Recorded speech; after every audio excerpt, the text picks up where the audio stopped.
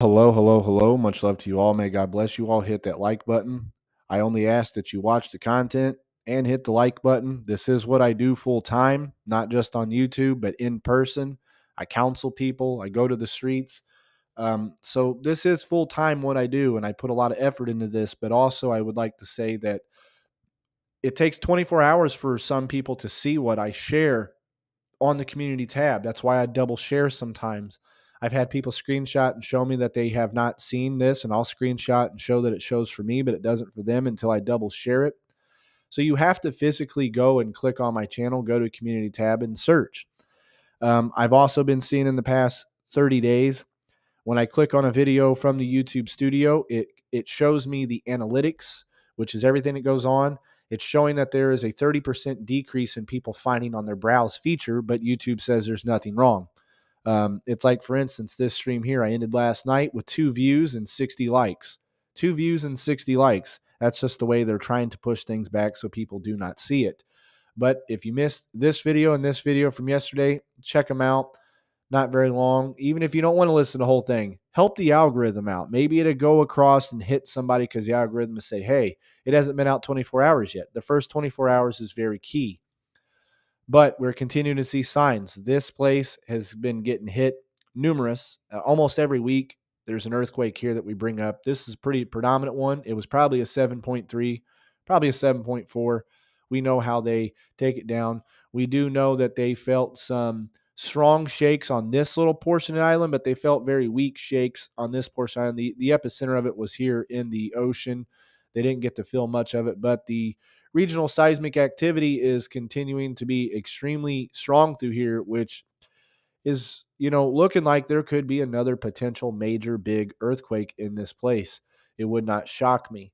As we see, there was another thing. I wasn't going to click on it because it kind of goes with this too. There's a drug shortage that has been heat, uh, hitting record highs. Amoxicillin treats pneumonia, and it's funny as we have a white lung outbreak. This is kind of similar back to 2020 with everything that had happened. I believe Jesus is a miracle worker, a waymaker. He can heal people from any sickness, including what I'm dealing with right now as I feel really bad. Um, people seen it last night in the stream. I just am not feeling very good, but still got to keep pushing on. But pray for this little girl. Lord knows her name. We don't. Her name's not mentioned there, but she has to wait 15 months for a leukemia drug that she needs that only costs 10 bucks. Um, that that's a long wait. And here too, I'm not saying that not every celebrity is not coming to the Lord, but I, I want us to take heed to not falling into the false light that is showing. Hollywood is trying to steal the limelight of people coming to the Lord Jesus Christ. And why is he? Well, because Hollywood is ran by the devil. It's ran by all these people. A lot of these Christians that have turned, uh, people say, but Rome isn't built overnight. Yes, true. But you got to look to die is gain. We got to die daily. But if you read the book of Acts, chapter 26, verse 20, it will tell you that they show the works of repentance. They show the fruit of repentance.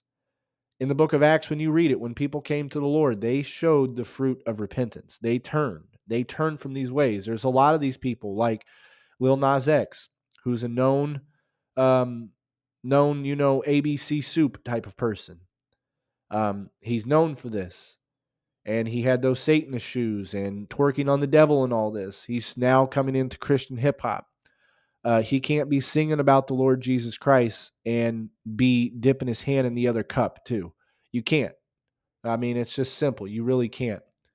I've always read the book of Obadiah the way that this is. It's eight to 10 minute read. Go to Israel 365 News, click on biblical news. Obadiah's warning for the West. People say that you know, they'll say America's not mentioned in the Bible, but then they'll say Rome is, even though it doesn't physically say, um, you know, Rome in some of the Old Testament. Um, it doesn't physically say it, but you have to look at the word Edom and where Edom Edomites went. They became these uh, civilizations here, and uh, I I've always read the book of Obadiah as a warning to the West, and I count the West as European nations and anyone that is um, you know, like like America, I guess the way you can put it. Uh, it talks about unholy alliances. It might take you longer than 10 minutes if you really go in and read all these verses like Zechariah, the book of Daniel, Genesis, Exodus. but it's a pretty good study. And and you know these activists who passionately support Hamas, even though Hamas wouldn't support them for their lifestyle, um, they would actually behead them or stone them to death or throw them off the top of a building because of their belief set.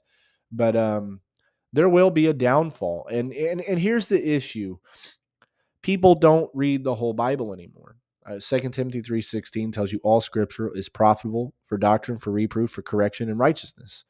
And uh, there are still some things in Old Testament that have not taken place. Um, this is uh, verse 15 in particular is a verse that I have always really stood out for me in the book of Obadiah that only has 21 verses. Uh, for the day of the Lord over all nations is close. As you have done shall be done to you. Your recompense shall return upon your head. Um, that stands for today, too. I mean, you read the book of Galatians what you reap is what you sow. As we're continuing to see the violence upticking over here in Israel, continue to keep your eyes on the prize. Um, I really believe it's going to ramp up even more, especially since they're talking about striking Lebanon potentially even harder. Turkey might be getting involved in this at some point in time soon. Remember to check the community tab, hit the like button, help get this stuff out there.